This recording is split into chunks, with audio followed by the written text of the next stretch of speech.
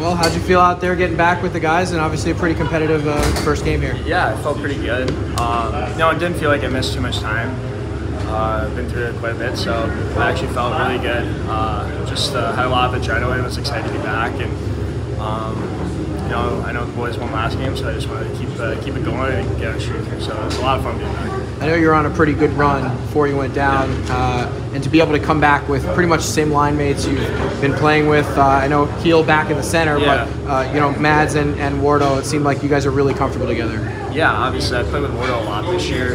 Um, makes a lot of great plays. I'm really comfortable with him. We have really good chemistry. And previously, Keel was on our line. Um, you know, it was really good. And um, but you know, Matt is also a really great player. I played with him in the past. Um, not so much this year, but previous years we've been line mates, and it's uh, it's always gone pretty well. So um, yeah, they make it really easy. I'm really close to them off the ice too, obviously. So it kind of just felt natural.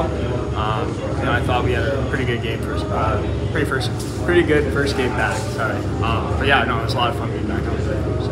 And in your first game back, you know, you get back out on the top power play unit, score the game-winning goal. Yeah. that like? Well, obviously, it's nice to be out there with those guys in a big moment. Uh, you, know, you want to you be the difference and help the team um, any way you can. So I was fortunate to hit off my shin pad. Uh, I didn't really do too much. That was a great shot by Hughes. Um, but uh, you know, I'll take it. You know, count the same. So, um, but no, it's just uh, yeah, it's, like I said, good to be out there, um, and you know, uh, feel really really fortunate to be put in that position and you know help the team win. It feels like Hootie can shoot anywhere, anytime. Yeah. Uh, so you're just trying to be ready uh, whenever he's it's coming to him there. Yeah, well, I was just trying to get out of the way, honestly.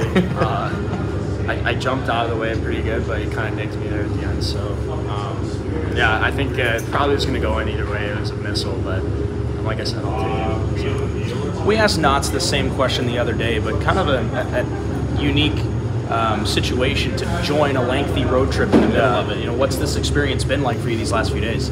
yeah, obviously it's been great to be back with the boys. We were uh, back in um, El Segundo by ourselves skating for like pretty much a week with uh, with Commerce. So um, you know, it's good to have them to kind of go through it together and get back into shape and get back into the rhythm. But we obviously miss playing a lot in the games for the most fun part. So uh, we were pretty pumped when we heard that we were cleared to come and come and play and.